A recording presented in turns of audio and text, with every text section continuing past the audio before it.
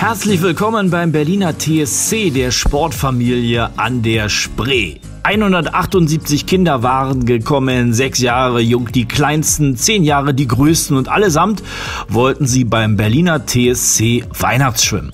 Gerade für die Jüngeren, für viele war dieser Wettkampf ja überhaupt ihr erster, waren Vorbereitung und Veranstaltung sehr aufregend. Nicht aufgeregt zu sein, sondern still zu bleiben, geht das eigentlich. Natürlich, wie sollte es auch anders sein, durfte der Weihnachtsmann nicht fehlen und der hatte für alle etwas mitgebracht. Das Highlight der Veranstaltung war auch in diesem Jahr wieder die Familienstaffel. 55 Teams nahmen teil. Und großer Applaus für Sido Malu und Donda Tamino, die Gewinner der Familienstaffel 2017. Wir haben Eltern dabei, die selber wirklich Top-Schwimmer früher waren, aber wir haben genauso die Eltern, die einfach nur dabei sind, weil ihre Kinder schwimmen. Und genau das macht den Spaß an diesem Wettkampf aus, dass es wirklich für jeden ist und alle miteinander Spaß haben.